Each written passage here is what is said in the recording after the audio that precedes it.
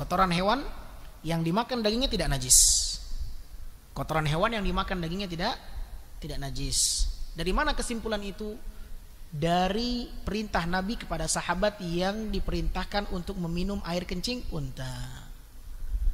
Unta termasuk di antara hewan yang dimakan dagingnya. Dari ketentuan ini para ulama mengkiaskan seluruh hewan yang dimakan dagingnya memiliki ketentuan sama dengan dengan apa?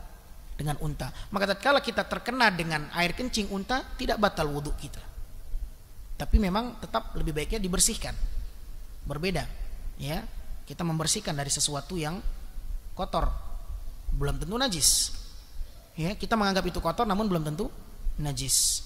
Ya, maka para ulama memberikan sebuah kaidah setiap baul kotoran hewan ya yang dimakan dagingnya tidak memiliki kandungan kandungan najis. Wallahu alam bisawab. Adapun hewan yang tidak dimakan dagingnya maka kotorannya najis.